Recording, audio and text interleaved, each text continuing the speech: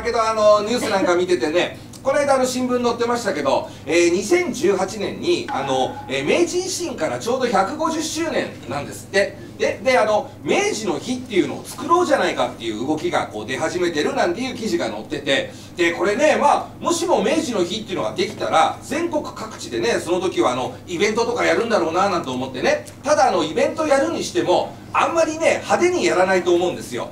多分静かなおとなしい感じのイベントをすると思うんですよね。なんでか分かります？ねだって明治を対象に昭和平成に行うってね。うまい！いや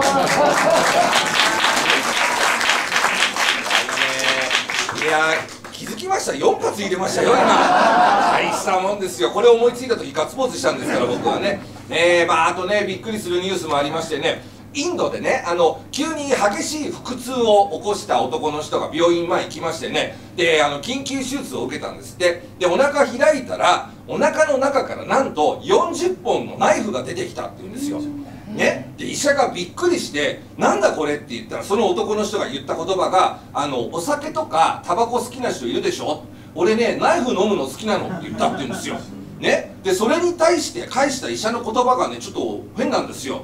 あのね今度からナイフは飲まない方がいいよって言ってね あのそんなに鉄分を取りたいんだったらほうれん草を食べなさいっていうアドバイスをしたっていうんですよ。でもよく考えてみたらねあの確かにねだってナイフもほうれん草もある意味刃物ですよね、うん、ね。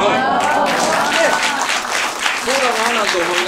がらけどナイフなんか飲んじゃって体調大丈夫なんですかね？お腹開きましたけどねあの体調の回復具合はどうなのかななんてねちょっと思いながらね。うん。ねだけど僕ね思うんですけどこの人わざとだと思うんですよ。ナイフを飲んでねあのだって腹痛を起こすの分かりきってるじゃないですか。で多分手術したかったんですよ。うん。手術代も腹痛だけに払いたいんだろうなと思ってね、